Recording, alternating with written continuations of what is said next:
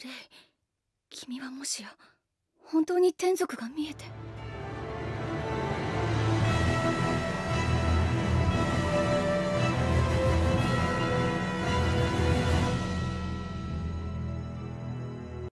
俺は世界を救わない。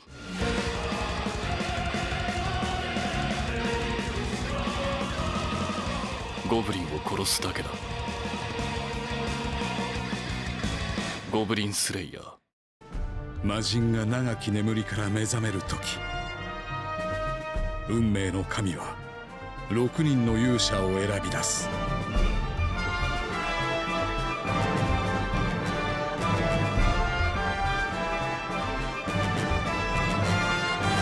この中に一人敵がいる。だ誰も知らないフィクションの向こうでじりじりスライムのスライムによるみんなのための国づくりここにあり。転生したらスライムだったけ2018年10月放送開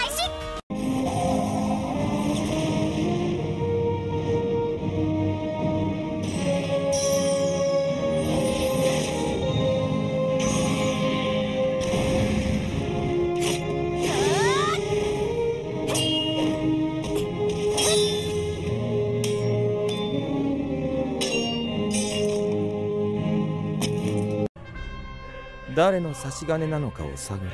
そういう命令だったはずだ。聖域から神の鍵が失われ神族と魔族のバランスが崩れ始めている。もし2つの鍵が合わさればあれが再び。バハムートの復活の予兆だ。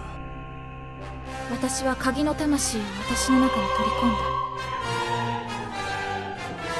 だから今は私が神の鍵だ骸骨という異形の姿で突如異世界へと飛ばされてしまった冴えない青年かつての仲間を探すため絶対の忠誠を誓う配下と共に新たな地へ進軍する。サーペント神のディアンヌ力を貸すよ。これが7つの大罪の力。王国転覆を図った裏切り者の騎士だ。7つの大罪消えろ。俺には俺のやるべきことがある。私には迷っている時間はない。全てを終わらせるために導き出される。唯一の正しい願いとは。行くのか？もういい